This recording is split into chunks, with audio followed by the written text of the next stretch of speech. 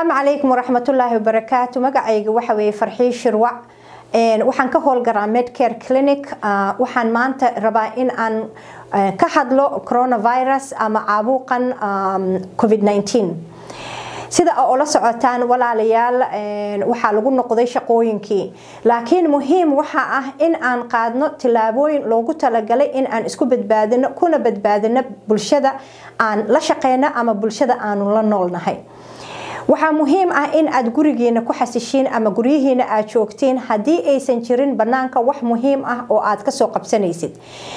Haddii aad banaanka aadaysid ama aad u aadaysid shaqo ama aad u aadaysid inaad soo adeegatid waxaa muhiim ah qof walba in aad u jirsatid lix tilaabo ama six feet ah u jirsatid.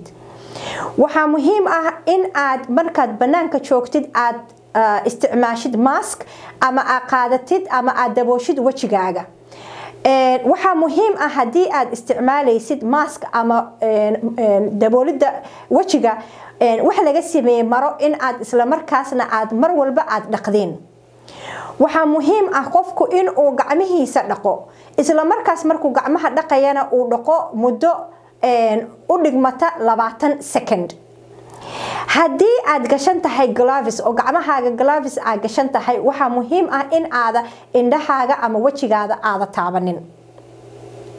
Haddii walaalayaal naga helo cudurkan covid 19 ama coronavirus haddii naga helo oo positive aad noqotiinna waxaa muhiim ah in aad guriga joogtiin afar iyo toban beri.